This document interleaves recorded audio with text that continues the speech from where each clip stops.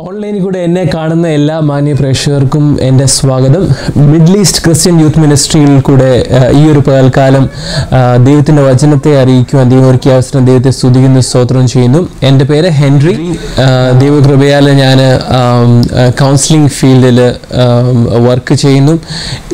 ദൈവം എനിക്ക് തന്ന ഇന്ന് ഒരു ചിന്തയെക്കുറിച്ചാണ് ഞാൻ ഇന്ന് നിങ്ങളുടെ മുമ്പിൽ സംസാരിക്കുവാൻ ആഗ്രഹിക്കുന്നത്. പ്രത്യേകിച്ച് ഞാനത് ടൈറ്റിലാക്കി വെച്ചിരിക്കുന്നതെന്ന് വെച്ച് കഴിഞ്ഞാൽ three P's for a blessed life അതായത് മൂന്ന് പീകൾ നമ്മുടെ അനുഗ്രഹിക്കപ്പെട്ട ഒരു ജീവിതത്തിന് വേണ്ടി നമുക്ക് മൂന്ന് പീകൾ ആവശ്യമുണ്ട്. പി എന്ന് പറയുമ്പം ഇംഗ്ലീഷിലെ ഒരു ലെറ്ററാണ് പി എന്ന് പറയുന്നത്. അപ്പം ഞാൻ ഒബിയസ്ലി എന്റെ മൂന്ന് പോയിന്റും പിയിലാണ് സ്റ്റാർട്ട് ചെയ്യുന്നത്. അപ്പോൾ അതുകൊണ്ടാണ് three P's for a blessed life അതായത് ദൈവ സന്നിധിയിൽ നമ്മൾ കടന്നു വരുമ്പോൾ ദൈവത്തിന്റെ പൈതലായിട്ട് ജീവിക്കുമ്പോൾ നമുക്ക് ഏറ്റവും അത്യന്താപേക്ഷിതമായിട്ട് വേണ്ട മൂന്ന് കാര്യങ്ങളെക്കുറിച്ചാണ് ഞാൻ ഇന്ന് സംസാരിക്കാൻ പോകുന്നത്. നമുക്ക് എല്ലാവർക്കും ആം, ആ, ആവശ്യങ്ങളും ആവശ്യബോധങ്ങളും നമുക്ക് മുന്നോട്ട് പോകുന്ന ജീവിതത്തെക്കുറിച്ച് നമുക്ക് തീർച്ചയായിട്ടും കാഴ്ചപ്പാടുകളും ചിന്തകളും എല്ലാം ഉള്ളവരാണ്. പക്ഷെങ്കിൽ പലപ്പോഴും നമ്മുടെ ജീവിതത്തിന്റെ പല ഘട്ടങ്ങളിൽ നമ്മുടെ ചിന്തകളും നമ്മുടെ പ്രവൃത്തികളും പലപ്പോഴും മാറുവാനും നമ്മൾ ദൈവം വിളിച്ച് വെളിയിൽ നിന്ന് നമ്മൾ അകന്നു പോകുവാനും വളരെ സാധ്യതയുള്ളൊരു ലോകത്താണ് ഇന്ന് നമ്മൾ ജീവിക്കുന്നത്. അപ്പം ഈ ഒരു പകൽകാല എന്റെ ഒന്നാമത്തെ പി എന്ന് പറയുന്നത് പ്രസൻസ് ആണ്. അതായത് ദൈവത്തിന്റെ സാന്നിധ്യം. ദൈവത്തിന്റെ സാന്നിധ്യം നമ്മുടെ ജീവിതത്തിൽ ഏറ്റവും അത്യന്താപേക്ഷിതമാണ്. കാരണം നമുക്ക് വേറെ ലോകത്തിലൊന്നുമില്ലെങ്കിൽ തന്നെയും നമുക്ക് ദൈവത്തിന്റെ സാന്നിധ്യം ഉണ്ടെങ്കിൽ അതിൽ കൂടെ നമുക്ക് അനേക കാര്യങ്ങളെ ചെയ്യാൻ കഴിയും. നമുക്ക് വചനത്തിൽ നോക്കിയാൽ തന്നെ അറിയാം ദൈവം ഉപയോഗിച്ച പലരും ഇന്ന് ലോകപ്രകാരം വലിയ ഡിഗ്രികളോ അല്ലെങ്കിൽ വളരെ കാര്യങ്ങൾ വലിയ വലിയ കാര്യങ്ങളോ ഉള്ളവരുണ്ടായിരുന്നു ഇല്ലാത്തവരുണ്ടായിരുന്നു മുടന്തരായിട്ടുള്ള ആൾക്കാരുണ്ടായിരുന്നു കണ്ണ് കാണാത്തവരുണ്ടായിരുന്നു അങ്ങനെ പല ആ, വേശ്യയായിട്ടുള്ള ആൾക്കാരുണ്ടായിരുന്നു അങ്ങനെ പല ആൾക്കാരെയും ദൈവം ഉപയോഗിച്ചു ദൈവം അവരുടെ ജീവിതത്തെ മാറ്റിമറിച്ചു. അപ്പോൾ അവരുടെയൊക്കെ ജീവിതത്തിലുണ്ടായ ഏറ്റവും ഒന്നാമത്തെ കാര്യം എന്ന് വെച്ചാൽ ദൈവത്തിന്റെ സാന്നിധ്യം അവരുടെ ജീവിതത്തിലേക്ക് വന്നു. നമ്മൾ പലപ്പോഴും ദൈവത്തിന്റെ സാന്നിധ്യം നമ്മൾ മലയാളത്തിലൊരു ചൊല്ലുണ്ട് കണ്ണുള്ളപ്പോൾ നമുക്ക് കണ്ണിന്റെ വില അറിയത്തില്ല.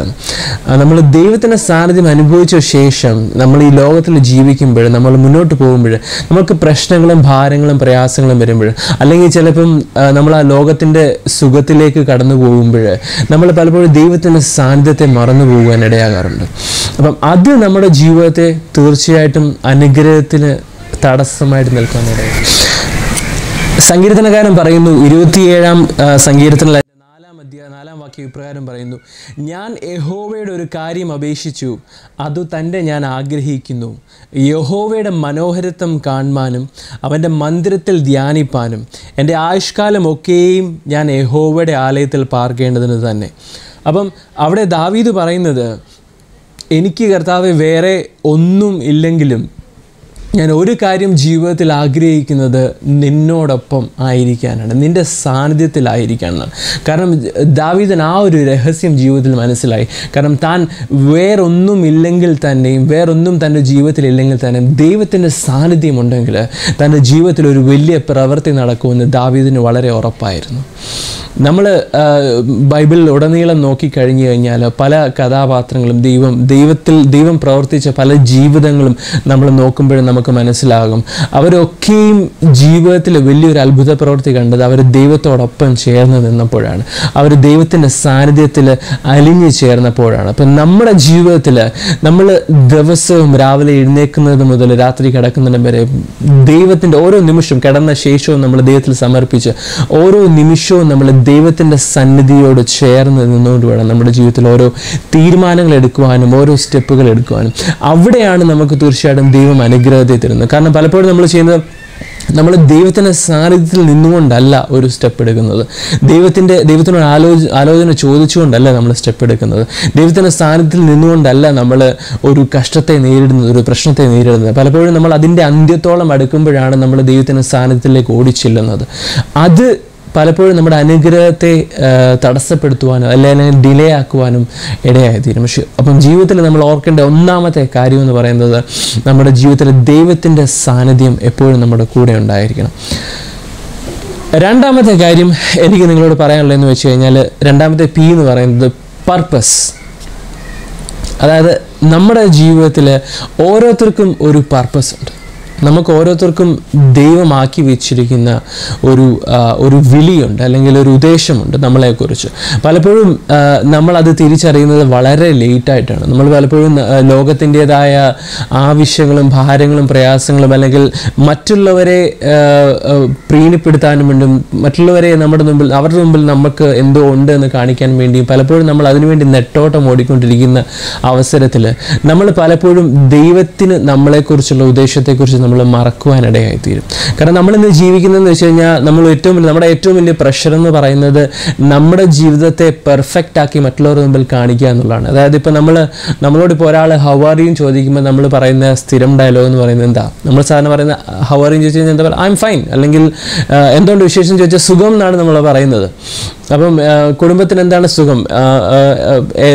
പഠിത്തം എങ്ങനെ പോകുന്നു? അല്ലെങ്കിൽ ജോലി എങ്ങനെ പോകുന്നു? എല്ലായിടത്തും നമ്മൾ സുഖമാണ് കുഴപ്പമില്ല എന്ന് മറ്റുള്ളവരെ ധരിപ്പിക്കുവാൻ നമുക്കൊരു എപ്പോഴും ഒരു പ്രഷറുണ്ട് നമ്മുടെ ജീവിതത്തിൽ അപ്പോൾ അതിനുവേണ്ടി നമ്മൾ പലപ്പോഴും നെട്ടോട്ട് പോടും ചിലപ്പം അതിന് നമുക്കൊരു ജോലി വേണമായിരിക്കും. മറ്റുള്ളവരുടെ മുമ്പിൽ കാണിക്കാൻ വേണ്ടി അല്ലെങ്കിൽ മറ്റുള്ളവരുടെ മുമ്പിൽ ഒരു വീട് പണിയാൻ വേണ്ടി അല്ലെങ്കിൽ മറ്റുള്ളവരുടെ മുമ്പിൽ അല്ലെങ്കിൽ ഒരു സ്ഥാനം ഉയർത്താൻ വേണ്ടി. അപ്പം നമ്മൾ പലപ്പോഴും നമ്മുടെ ജീവിതത്തിൽ ആ ഒരു പ്രഷറിന്റെ പുറകെ പോകുമ്പോൾ പർപ്പസിന്റെ പുറകെ പോകാതെ പ്രഷറിന്റെ പുറകെ പോകുമ്പോൾ നമ്മുടെ ജീവിതം തീർച്ചയായിട്ടും ഒരു പരാജയമായിട്ടായി തീരുവാനിടയായി തീരും.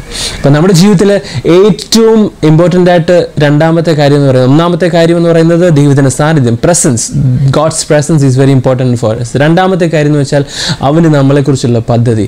നമ്മൾ പലപ്പോഴും പദ്ധതി എന്ന് പറയുമ്പോൾ നമ്മൾ വളരെ ലൈറ്റായിട്ട് എടുക്കുന്ന ഒരു കാര്യമാണ്. ആ ദൈവം നമ്മളെ വിളിച്ചു നമ്മളെ ദൈവമാക്കി നമ്മൾ ഇനി അങ്ങനെ പോകുന്നു. അപ്പോൾ അതിൽ അതിലുപരിയായിട്ട് നമ്മൾ ഒരിക്കലും പർപ്പസിനെ കുറിച്ച് ചിന്തിക്കുന്നില്ല. നമ്മൾ അതിനെക്കുറിച്ച് എന്താണ് ദൈവം ആഗ്രഹിക്കുന്നത്? അല്ലെങ്കിൽ ഞാൻ എവിടെ ആയി തീരണം? ഞാൻ എന്ന എന്ന- എന്ത് ജോലി ചെയ്യണം? അല്ലെങ്കിൽ ഏത് സ്ഥലത്തേക്ക് പോകണം? എന്നൊന്നും നമ്മൾ ആലോചിക്കുന്നില്ല. കാരണം നമ്മുടെ പർപ്പസ് മനസ്സിലാക്കിയെങ്കിൽ മാത്രമേ നമുക്കത് ചെയ്യാൻ കഴിയത്തുള്ളൂ. നമ്മൾ വചനത്തിൽ നോക്കിക്കഴിഞ്ഞാൽ തന്നെ അറിയാം. ദൈവം അയച്ചിട്ടുള്ള പലരും അവർ ദൈവത്തോട് ചോദിക്കുമല്ല ഞാൻ ഇന്ന സ്ഥലത്ത് പൊയ്ക്കോട്ടെ എന്ന്.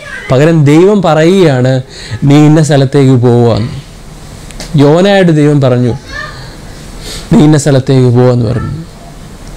അതുപോലെ അബ്രാമിനെ ദൈവം വിളിച്ചിറക്കിയിട്ട് പറഞ്ഞു നീ ഇന്ന സ്ഥലത്തേക്ക് പോവാന്ന് പറഞ്ഞു. അതുപോലെ പലരോടും വചനത്തിൽ നോക്കിക്കഴിഞ്ഞു കഴിഞ്ഞാൽ നമുക്ക് മനസ്സിലാക്കാൻ കഴിയും ദൈവം അവരെ നയിക്കുവാണ് അങ്ങനെ ദൈവവചനത്തിൽ ഉടനീളം നോക്കിക്കഴിഞ്ഞു കഴിഞ്ഞാൽ ദൈവം പറഞ്ഞിട്ടാണ് പലരും മുന്നോട്ട് പോകുന്നത്. അപ്പം നമ്മൾ പലപ്പോഴും നമ്മുടെ ജീവിതത്തിൽ എന്തുവാ ചെയ്യുന്നത്? നമുക്കൊരു ഉദ്ദേശമുണ്ട് നമ്മുടെ ജീവിതത്തിൽ നമ്മളെക്കുറിച്ച് ഇന്നത് നേടണം ഇന്ന എത്ര എത്ര പൈസ ഉണ്ടാക്കണം അല്ലെങ്കിൽ ഇത്ര ഒരു വീട് പണിയണം അല്ലെങ്കിൽ അത് ചെയ്യണം ഇത് ചെയ്യണം. അങ്ങനെ പല ഉദ്ദേശങ്ങൾ വെച്ചിട്ടാണ് നമ്മൾ പലപ്പോഴും നമ്മുടെ ജീവിതത്തിൽ പ്രവർത്തിക്കുന്നത്. ആ സമയത്ത് ദൈവം പറയുന്ന കേൾക്കാനുള്ള മനസ്ഥിതിയും അല്ലെങ്കിൽ അതിന് തക്കവണ്ണം നമ്മുടെ കാതുകൾ തുറന്നു ഇരിക്കത്തുമില്ല കാരണം നമ്മുടെ ചെവിയിൽ മുഴങ്ങിൽ കേൾക്കുന്നത് നമ്മുടെ ആ അല്ലെങ്കിൽ നമ്മുടെ ആവശ്യങ്ങളോ അല്ലെങ്കിൽ നമ്മുടെ പ്രഷറുകളോ അതൊക്കെയായിരിക്കും നമ്മുടെ ചെവിയിൽ മുഴങ്ങി അപ്പോൾ നമ്മുടെ ജീവിതത്തിൽ വളരെ ഇമ്പോർട്ടന്റ് ആണ് എന്നെ എന്തിനാണ് ദൈവം വിളിച്ചത്? എന്നെ എന്തിനു വേണ്ടിയാണ് ദൈവം ഈ ലോകത്തിലാക്കി തീർത്തത്? അല്ലെങ്കിൽ ഇന്ന സ്ഥലത്താക്കി തീർത്തത്? ഇപ്പം ദൈവം നിന്നെ അയക്കുന്നിടത്തേക്ക് പോകുവാൻ ദൈവം നമ്മളെ അയക്കുന്നിടത്തേക്ക് പോകുവാൻ നമ്മൾ തയ്യാറാവണം. ദൈവം ചിന്തിക്കുന്നത് നമ്മൾ നമ്മൾ നമ്മൾ നമ്മൾ എന്ത് ചിന്തിക്കണമെന്ന് ദൈവം ആഗ്രഹിക്കുന്നു അത് ചിന്തിക്കുവാൻ നമ്മൾ തയ്യാറാകണം. ദൈവം നമ്മൾ എന്ത് ചെയ്യുവാൻ ആഗ്രഹിക്കുന്നു അത് ചെയ്യുവാൻ നമ്മൾ തയ്യാറാകണം. അതിലൊക്കെയും കൂടെ ദൈവം നമ്മളെ നടത്തും. കാരണം അങ്ങനെ വിശ്വസിക്കുന്നവർക്ക് തീർച്ചയായിട്ടും വചനം വളരെ വ്യക്തമായിട്ട് പറയുന്നു. അതിന്റെ റോമാലേഖനം അതിന്റെ എട്ടിന്റെ ഇരുപത്തെട്ട് ഇപ്രകാരം പറയുന്നു. എന്നാൽ ദൈവത്തെ സ്നേഹിക്കുന്നവർക്ക് നിർണയപ്രകാരം വിളിക്കപ്പെട്ടവർക്ക് തന്നെ സകലവും നന്മയ്ക്കായി കൂടി വ്യാപരിക്കുന്നു എന്ന് നാം അറിയുന്നു. അതായത് ദൈവത്തെ സ്നേഹിക്കുന്നവർക്ക് അതായത് ദൈവത്തെ സ്നേഹിക്കുന്നവർ എപ്പോഴും ദൈവത്തിന്റെ സാന്നിധ്യത്തിൽ ഉണ്ടാവും നിർണയപ്രകാരം വിളിക്കപ്പെട്ടവർക്ക് നമ്മുടെ ദൈവത്തിന്റെ വിളിയിൽ ആയവർക്ക് ദൈവത്തിന്റെ പദ്ധതിയിലായവർക്ക് ദൈവത്തിന്റെ പർപ്പസിൽ ജീവിക്കുന്ന ദൈവം എന്താഗ്രഹിക്കുന്നു ആ ഒരു പർപ്പസിൽ ആ ഒരു വിളിയിൽ ജീവിക്കുന്നവർക്ക് ദൈവം സകലവും ഇങ്ങനെ തന്നെയാണ് പറയുന്നത് സകലവും നന്മയ്ക്കായി കൂടി വ്യാപരിക്കുന്നു. അപ്പം നിന്റെ ജീവിതത്തിലെ ചെറിയ കാര്യമായിരിക്കും. ചിലപ്പോൾ നീ അത് വിചാരിക്കുന്നത് അത് നിനക്ക് വലുതായിട്ട് വളരെ തോന്നും. അല്ലെങ്കിൽ ചിലപ്പോൾ വലിയ കാര്യമായിരിക്കാം. നിനക്കത് ചെറുതായിട്ട് തോന്നും. പക്ഷേ അത് എങ്ങനെ വേണേലും ആയിത്തീരാം. നമ്മുടെ ജീവിതത്തിലോ സംഭവിക്കുന്ന ഓരോ കാര്യങ്ങളും നമ്മൾ പലപ്പോഴും നമുക്ക് കൂടി വന്നാൽ ചിന്തിക്കാൻ കഴിയുന്നത് രണ്ട് ദിവസത്തെ പ്ലാനുകളാണ്. അതിലുപരി നമുക്ക് ചിന്തിക്കാൻ കഴിയത്തില്ല.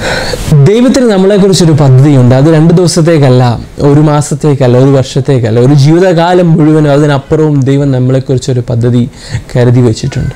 അപ്പോൾ അത് നമ്മുടെ തിരഞ്ഞെടുപ്പാണ്. നമുക്ക് ആ പദ്ധതിയിൽ പോണോ? അത് നമ്മുടെ പദ്ധതിയിൽ പോകണോ തീർച്ചയായിട്ടും ഇവിടെ വചനം വ്യക്തമായിട്ട് പറയുന്ന പോലെ നമ്മൾ ദൈവത്തിന്റെ പർപ്പസിനനുസരിച്ച് പോകുവാണെങ്കിൽ നമുക്ക് ദൈവം സകലവും നന്മയ്ക്കാക്കി കൂടി വ്യാപരിക്കുന്നു. അപ്പോൾ ചിലപ്പോൾ നമ്മൾ ചിലപ്പോൾ ചോദിക്കാറുണ്ട് ഞാനെല്ലാം നന്മയ്ക്ക് ഞാനെല്ലാം ദൈവത്തിന്റെ പർപ്പസിനനുസരിച്ചാണ് പോകുന്നത് എന്തുകൊണ്ടാണ് എനിക്ക് ഇങ്ങനെ വരുന്നത് അല്ലെങ്കിൽ എനിക്ക് ഇങ്ങനെ വരത്തുള്ളൂ. അപ്പോൾ അവിടെയാണ് നമ്മുടെ വിശ്വാസം പലപ്പോഴും നമ്മൾ ഈ ഒരു വാക്കിനെ നമ്മൾ പലപ്പോഴും വിശ്വാസത്തിൽ എടുക്കാറില്ല. നമ്മൾ പലപ്പോഴും ഒരു ചെറിയൊരു പ്രോബ്ലം വന്നാൽ തന്നെ നമ്മൾ പറയും ആ ഇതിനേക്കാളിലും ഭേദം എന്റെ സ്വന്തമായ ഉദ്ദേശത്തിൽ പോകുന്നതായിരുന്നു. അല്ലെങ്കിൽ അവർ പറഞ്ഞ് കേട്ടാൽ മതിയായിരുന്നു. അല്ലെങ്കിൽ എന്റെ ചേട്ടൻ പറഞ്ഞ് കേട്ടാൽ മതിയായിരുന്നു. അല്ലെങ്കിൽ എന്റെ ആന്റി പറഞ്ഞ് കേട്ടാൽ മതിയായിരുന്നു. അങ്കിൾ പറഞ്ഞ് കേട്ടാൽ മതിയായിരുന്നു. അല്ലെങ്കിൽ അവർ പറഞ്ഞ് കേട്ടാൽ മതിയായിരുന്നു. എന്ന് നമ്മൾ പലപ്പോഴും നമ്മുടെ നാവാൽ പറയാറുണ്ട്. കാരണം നമ്മുടെ വിശ്വാസം നമ്മളവിടെ നഷ്ടപ്പെടുത്തുകയാണ്. അപ്പം നമ്മുടെ വചനത്തിലുടനീളം പിന്നെയും നമ്മൾ നോക്കിക്കഴിഞ്ഞാൽ നമുക്ക് മനസ്സിലാക്കാൻ പറ്റും ദൈവം നോക്കുന്നത് നമ്മുടെ ഹൃദയത്തെയാണ്. നമ്മുടെ ദൈവത്തിന്റെ ഉദ്ദേശത്തിൽ നമ്മൾ ജീവിക്കുന്നതോടൊപ്പം നമ്മൾ ആ വിശ്വാസത്തെ നമ്മൾ എപ്പോഴും കാത്തു സൂക്ഷിക്കണം. അവിടെയാണ് നമ്മൾക്ക് സകലവും നന്മയ്ക്കായി കൂടി വ്യാപരിക്കുന്നത്. മൂന്നാമത്തെ പി എന്ന് പറയുന്നത് പെർസിസ്റ്റൻസ് എന്നാണുള്ളത്. അതായത് നമ്മുടെ ജീവിതത്തിൽ പലപ്പോഴും നമ്മൾ വിശ്വാസ ജീവിതത്തിൽ വന്ന ശേഷം നമ്മൾ ആദ്യത്തെ കുറച്ച് മാസമൊക്കെ കുറച്ച് നമ്മൾ അതായത് ഇപ്പോൾ ജിമ്മിലൊക്കെ പോകാറില്ല ഇപ്പം നമ്മളിപ്പം ജിമ്മിൽ പോകുമ്പോൾ ചിലർ വളരെ എക്സൈറ്റഡ് ആയിരിക്കും. ആദ്യത്തെ ഒരു മൂന്നാൽ ദിവസം നാലഞ്ച് ദിവസമൊക്കെ ഭയങ്കര എക്സൈറ്റഡ് ആയിരിക്കും. എന്ന് വെച്ചാൽ നമുക്ക് ഇന്ന് അടിച്ച് ഭയങ്കര ജിമ്മിലൊക്കെ പോയി നല്ല മസിലൊക്കെ വെച്ചിട്ട് ഭയങ്കര ഇതിൽ ഷോ ഓഫിലൊക്കെ കാണിക്കാൻ വേണ്ടി ഇങ്ങനെ മൂന്നാൽ മാസമൊക്കെ രണ്ട് രണ്ട് മാസം മൂന്ന് മാസമൊക്കെ പോകും പക്ഷെ അതിന് ശേഷം പലർക്കും അതിലുള്ള താല്പര്യം കുറഞ്ഞു വരും. അല്ലെങ്കിൽ ആ ഒരു പെർസിസ്റ്റൻസ് ഇല്ല. ഒരു കണ്ടിന്യൂസ് ആയിട്ട് നമ്മൾ അതിനെ പിന്തുടരുന്നില്ല. നമ്മുടെ ജീവിതത്തിൽ ഒരു സ്റ്റെബിലിറ്റി ഇല്ല. ഒരു ദിവസം നമ്മൾ ചെയ്യും വേറെ ദിവസം ചെയ്യത്തില്ല. ഒരു ദിവസം പിന്നെയും ചെയ്യും ഒരു ദിവസം വേറെ ദിവസം ചെയ്യത്തില്ല. അപ്പം നമ്മളിങ്ങനെ ബാക്ക് ആൻഡ് ഫോർത്ത് ഇങ്ങനെ ചെയ്തുകൊണ്ട് നമ്മുടെ ജീവിതം മുന്നോട്ട് പോകും.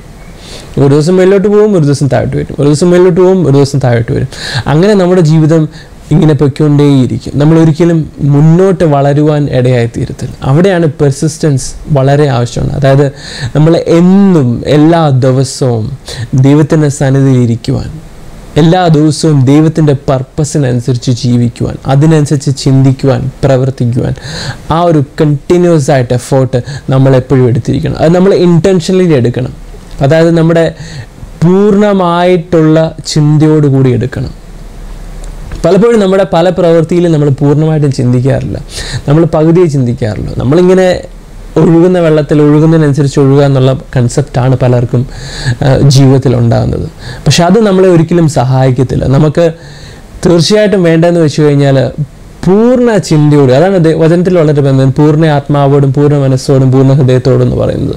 ഇറ്റ്സ് നോട്ട് കുറച്ച് ചെറിയ ചിന്തയിലല്ല അല്ലെങ്കിൽ ഹാഫ് മൈൻഡഡോടുകൂടിയല്ല പകുതി മനസ്സോടു കൂടിയല്ല നമ്മൾ ദൈവത്തിൽ ചെയ്യേണ്ടത്. അപ്പം നമ്മൾ പൂർണ ചിന്തയോടെ പൂർണ ഇന്റൻഷനോടുകൂടി നമ്മൾ ഓരോ പ്രവൃത്തിയും ഓരോ ചിന്തയും ദൈവത്തിന്റെ സാന്നിധ്യത്തിനൊപ്പം ദൈവത്തിന്റെ പർപ്പസിനൊപ്പം അല്ലെങ്കിൽ അതിന്റെ ദൈവത്തിന്റെ വിളിയോടൊപ്പം നമ്മൾ അലൈൻ ചെയ്ത് അല്ലെങ്കിൽ അതിനോടൊപ്പം പാരലായിട്ട് നമ്മൾ റൺ ചെയ്യുമ്പോൾ നമ്മൾ പോകുമ്പോൾ നമ്മുടെ ജീവിതത്തിൽ വലിയ കാര്യങ്ങൾ ദൈവം ചെയ്യാനിടയായി തീരും ദൈവത്തിന്റെ കരം ഇന്നും താന്നു പോയിട്ടില്ല. പ്രൈസ് അലോട്ട് ദൈവത്തിന് ഇന്നും വലിയ അത്ഭുതങ്ങളെ ചെയ്യാൻ കഴിയും. നമ്മൾ ഈ വചനത്തിൽ വളരെ അത്ഭുതങ്ങളെക്കുറിച്ചൊക്കെ ദൈവം ചെയ്ത പല കാര്യങ്ങളെക്കുറിച്ചും പറയുന്നുണ്ട്. ദൈവം വലിയ അത്ഭുതങ്ങളെ ചെയ്തത്. വലിയ വലിയ അത്ഭുതം നമ്മൾ അതിനെക്കുറിച്ച് ഘോരഘോരം പ്രസംഗിക്കാറുണ്ട്. നമ്മൾ അതിനെക്കുറിച്ച് ഘോരഘോരം ചിന്തിക്കാറുണ്ട്. അല്ലെങ്കിൽ നമ്മൾ അതിനെക്കുറിച്ച് വളരെ സന്തോഷമുള്ള ആൾക്കാരായിട്ട് മാറാറുണ്ട്. പക്ഷേ നമ്മൾ ഇന്ന് നമ്മൾ എത്രത്തോളം അതിനെ വിശ്വസിക്കുന്നു എന്നുള്ളത് നമ്മുടെ ചിന്തയെ ആശ്രയിച്ചിരിക്കും. ഇന്ന് പലപ്പോഴും നമ്മൾ അതിനെക്കുറിച്ച് വിശ്വസിക്കാറില്ല. ഇന്ന് പലപ്പോഴും നമ്മൾ ലോജിക്കലാണ്. പ്രത്യേകിച്ച് ഇന്ന് നമ്മൾ ഓൺലൈൻ മീഡിയയിലൊക്കെ നോക്കി കഴിഞ്ഞ് കഴിഞ്ഞാൽ നമുക്ക് ഇന്ന് അത്ഭുതങ്ങളെ എല്ലാവരും എതിർത്തുകൊണ്ടിരിക്കുകയാണ്. അല്ലെങ്കിൽ അത് ഇന്നില്ല അല്ലെങ്കിൽ ഇനി നടക്കത്തില്ല ഇതെല്ലാം നടക്കുന്നത് തട്ടിപ്പാണെന്നുള്ള രീതിയിലാണ് പലപ്പോഴും. തീർച്ചയായിട്ടും തട്ടിപ്പോടെ ജീവിക്കുന്നവരുണ്ട്. അതായത് പൈസ നല്ല രീതിയിൽ ഉപയോഗിക്കുന്നവരുണ്ട് ചീത്തയായിട്ട് ഉപയോഗിക്കുന്നവരുണ്ട്. എന്നും പറഞ്ഞ് പൈസ തെറ്റാന്ന് നമുക്കാർക്കും പറയാൻ പറ്റത്തില്ലല്ലോ. സോ ജീവിതത്തിൽ നമുക്ക് എല്ലാ കാര്യവും നമ്മുടെ നമ്മുടെ നമ്മുടെ ചിന്തയായാലും നമ്മുടെ പ്രവൃത്തിയായാലും നമുക്കുള്ള എല്ലാ റിസോഴ്സസും നമുക്ക് നല്ല രീതിയിലും ചീത്തയായിട്ടും ഉപയോഗിക്കാനുള്ള സ്വാതന്ത്ര്യവും അതിനുള്ള കഴിവുമുണ്ട്. അപ്പം അവിടെ എന്താണ് അതിന് മാറ്റർ എന്ന് ചോദിച്ചു കഴിഞ്ഞാൽ നമ്മുടെ നമ്മുടെ തീരുമാനമാണ് നമ്മുടെ ചിന്തയാണ്. നമ്മൾ അതിനു വേണ്ടിയാണോ നല്ലതിന് വേണ്ടിയാണോ നമ്മൾ വിട്ടുകൊടുക്കുന്നത്? അതോ ചീത്ത ചീത്തയായതിനു വേണ്ടിയാണോ നമ്മൾ വിട്ടുകൊടുക്കുന്നത്? ഇപ്പം നമ്മുടെ ജീവിതത്തിൽ നമ്മൾ കണ്ടിന്യൂസ് ആയിട്ട് ദൈവത്തിന്റെ സന്നിധിയിൽ നിൽക്കുവാൻ നമ്മൾ തയ്യാറാണെങ്കിൽ ദൈവം വലിയ കാര്യങ്ങളെ ചെയ്യാൻ കഴിയും. ഞാൻ വിശ്വസിക്കുന്ന ഒരു കാര്യമുണ്ട്. പലപ്പോഴും നമ്മൾ അത്ഭുതങ്ങൾക്ക് വേണ്ടി പ്രാർത്ഥിക്കാറുണ്ട്. പ്രാർത്ഥിക്കുന്നത് തെറ്റാണെന്ന് ഞാൻ ഒരിക്കലും പറയത്തില്ല. പക്ഷേ ദൈവത്തിന്റെ സന്നിധിയിൽ വിശ്വസ്തയോടെ നിൽക്കുവാണെങ്കിൽ ദൈവത്തിന്റെ സാന്നിധ്യത്തെ മുറുകെ പിടിക്കുവാണെങ്കിൽ ദൈവത്തിനോടൊപ്പം ദൈവത്തിന്റെ ഉദ്ദേശത്തോടൊപ്പം നടക്കുവാണെങ്കിൽ നമ്മൾ പോകുന്ന വഴിയിൽ അത്ഭുതങ്ങൾ നടക്കും. നമ്മൾ ചെയ്യുന്ന പ്രവൃത്തികളിൽ അത്ഭുതം നീ കാണും. നിന്റെ ജോലി സ്ഥലത്ത് നീ എവിടെ പോയ നിന്റെ പബ്ലിക്കായിട്ടുള്ള ജീവിതത്തിൽ അല്ലെങ്കിൽ പേഴ്സണലായിട്ടുള്ള ജീവിതത്തിൽ എല്ലായിടത്തും ഒരു അത്ഭുതത്തെ നിനക്ക് കാണുവാൻ കഴിയും. It's not because you prayed but just because you are walking in the presence of the Lord that's what makes a difference അപ്പം നമ്മൾ നമ്മുടെ മഹിമയല്ല നമ്മൾ പ്രാർത്ഥിച്ചുകൊണ്ടുമല്ല പലപ്പോഴും അത്ഭുതം നടക്കുന്നത്. പലപ്പോഴും ഞാൻ കണ്ടിട്ടുണ്ട് പ്രാർത്ഥിക്കാതെ. ഞാനൊന്നും ചെയ്തിട്ടില്ല. പക്ഷേ ദൈവസേനയിൽ നടന്നു അല്ലെങ്കിൽ അതിനോടൊപ്പം നടക്കാൻ ശ്രമിച്ചു അതിന്റെ പരമാവധി അതിനുവേണ്ടി ഞാൻ പൂർണ ഹൃദയത്തോട് നിന്നു എന്നുള്ളത് മാത്രമേ ഞാൻ ചെയ്തുള്ളൂ. അവിടെയൊക്കെയും ദൈവം വലിയ അത്ഭുതങ്ങളെ ചെയ്യുന്നത് ഞാൻ എന്റെ കണ്ണാൽ കണ്ടിട്ടുണ്ട്. അതിന്നും സാധ്യമാണ്. അപ്പോൾ ഇതിനെല്ലാം സംഗ്രഹിച്ച് പറയുവാണെങ്കിൽ മൂന്ന് കാര്യങ്ങൾ പറയാം. ഒന്നാമത്തെ കാര്യം എന്ന് വെച്ച് കഴിഞ്ഞാൽ ഹൂ ആർ യു വിത്ത് നീ ആരോടൊപ്പമാണ് രണ്ടാമത്തെ കാര്യം എന്ന് പറയുന്നത് വേർ ആർ യു ഗോയിങ് നീ എവിടേക്കാണ് പോകുന്നത്? മൂന്നാമത്തെ കാര്യം എന്ന് പറയുന്നത് what are you up to ഇന്ന് നീ എന്താണ് ചെയ്തുകൊണ്ടിരിക്കുന്നത്? അപ്പം ഓർക്കുക ഒന്നാമത്തെ ഇമ്പോർട്ടന്റ് ആയിട്ടുള്ള കാര്യം ദൈവത്തിന്റെ സാരഥ്യം പ്രസൻസ് രണ്ടാമത്തെ പേർപ്പസ് മൂന്നാമത്തെ പെർസിസ്റ്റൻസ് ഇത് മൂന്നും നമ്മൾ മനസ്സിൽ സംഗ്രഹിച്ചുകൊണ്ട് നമ്മുടെ പൂർണ ചിന്തയോട് കൂടി ഇതിനു വേണ്ടി നിൽക്കുകയാണെങ്കിൽ തീർച്ചയായിട്ടും ദൈവം വലിയ അത്ഭുതങ്ങളെ നമ്മുടെ ജീവിതത്തിൽ ചെയ്യും. നിങ്ങളുടെ ജീവിതത്തിലും അത് സംഭവിക്കട്ടെ എന്ന് ഞാൻ പ്രാർത്ഥിക്കുന്നു. ദൈവം എല്ലാവരെയും അനുഗ്രഹിക്കട്ടെ എന്ന് പ്രാർത്ഥിച്ചുകൊണ്ട് നിർത്തുന്നു.